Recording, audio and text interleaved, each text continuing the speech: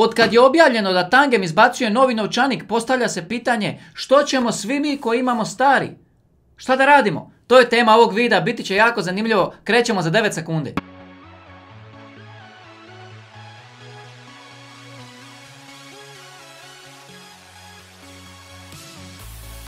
Nakon što je Tangem na svojim web stranicama objavio potpuno jednu novu priču, nakon što je objavljeno da izbacuju Tangem 2 kroz 0, naravno kripto zajednica je oduševljena zbog svih noviteta, zbog svega što će oni napraviti, međutim počelo se postavljati logično pitanje šta ćemo mi svi koji već imamo ovu prvu verziju, šta ćemo mi svi koji raspolažemo sa ovakvim novčanicima i zato sam htio i to podijeliti s vama jer dobivam jako puno pitanja. Prije toga naravno podsjetnik za sve članove kanala, večeras u 9 sati imamo onaj naš redovni večernji live stream, pripremite pitanja, a ja ću se potruditi da imam odgovor na svako pitanje, naše teme, naše istrage, naši komentari, naše vijesti, ono naše dobro vrijeme u 9 sati, idemo tu na najjače. A sad se prebacimo na Tangem 1. Znači Tangem 1 kroz 0, ovo je Tangem 2 kroz 0. Mnogi od vas imate jedan ovakav novčanik, mnogi od vas imate na vašim mobitelima aplikaciju i koristite, prebacujete svoje kriptovalute, čuvate svoje kriptovalute, zadovoljni ste kako to sve funkcionira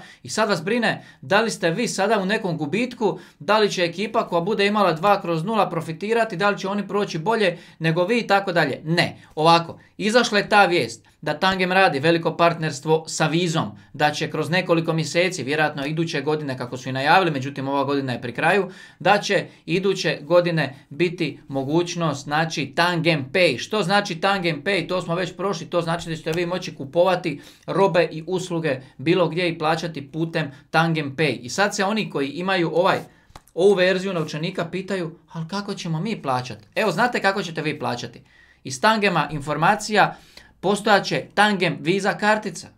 I vi kao korisnik Tangema, ovoga old verzije, stare verzije, još uvijek je stara verzija na tržištu, još uvijek je to najjeftiniji kriptonovčanik koji postoji na tržištu, uh, gdje mu je, gdje mu je cijena, da pogledamo, znači Classic Card, evo ga, znači svi vi koji imate ovaj Classic Card, evo, verzija sa dvije kartice 43 dolara. 43 dolara i 90 centi košta verzija sa tri kartice 55. Međutim, i na ovu cijenu i na ovu cijenu još imate 10% popust ako koristite kod kripto teme. Ali kako ćete vi plaćati? Pa tako što će Tangem, čim se viza, sa vizom kartica ta lansira, dati mogućnost svima vama da tamo upišete svoju adresu u, u aplikaciji ili negdje i da vam na vašu adresu dođe Tangem Visa kartica. I vi ćete onda na vašoj aplikaciji podesiti, kao i na nekoj kripto mjenjačnici, bilo gdje, šta znam, želite trošiti USDT i imate tamo USDT-a 100 dolara i to vidite na aplikaciji da imate, to je sve spremljeno na novčaniku i vi dolazite u neki dućan, vadite iz svog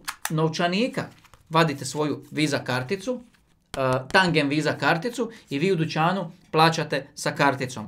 I mislim da je to najbolji odgovor za sve one koji pitaju sada, Jure, da li ja sada ako imam Tangem već, da li ja moram naručivati drugi? Ne morate ljudi naručivati drugi. Nadam se da vam je ova informacija pomogla, a sad vas izazivam. Koji od ova dva videa niste pogledali? Odaberite, kliknite i uživajte i dalje u sadržaju na kanalu Kripto Teme, a večeras se vidimo u live streamu u 9 sati.